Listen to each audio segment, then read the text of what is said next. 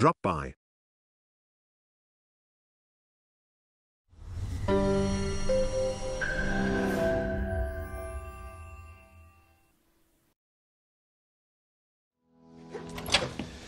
Hey, Mike.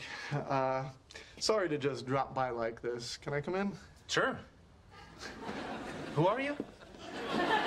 I'm, I'm Ross, Phoebe's friend from, from the coffee house. yeah. Yeah, I, I really, really need to talk to you about something. Okay. Unless you're not gonna try and get me to join a cult, are you? No. Oh, nah, it's just you, know, you have that look.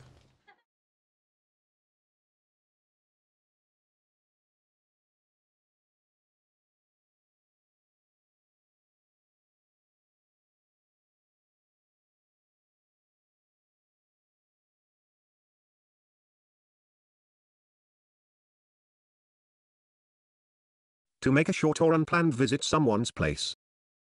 Stop at someone's place.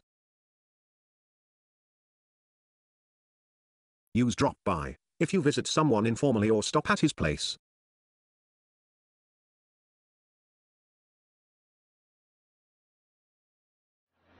Not a lot of talking. No loud noises. Sup, guys? No, no, no, no, please, just, just go away. I just wanted to drop by and say.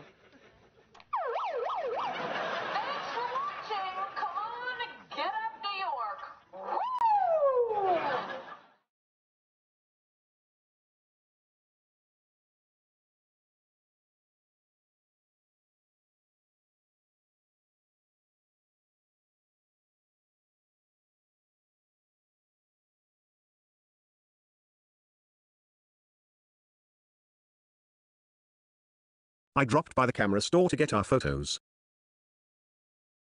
Drop by anytime you're in town. Hi, I was in the neighborhood so either I dropped by. I'm Margaret Bly. Uh, Tribbiani, that's an Anglo-Saxon name, right? Uh, sure. Do you have any children? Oh, I actually do. I have a son. Why don't you drop by and, and bring your little boy along? My little boy. And if it's not too much trouble, on the way over, pick me up some marble cake and a carton of menthol cigarettes, any kind.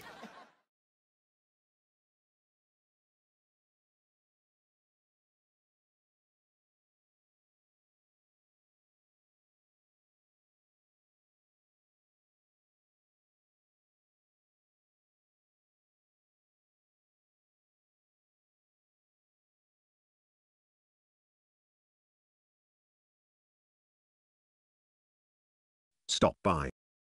Drop around. Drop in. Don't forget to stop by at the post office. He dropped around my office this morning. I dropped into the market for a magazine. Ah, the spoils.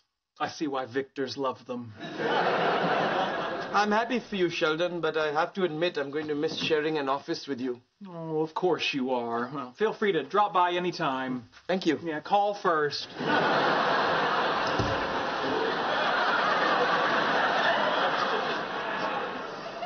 Oh, hello.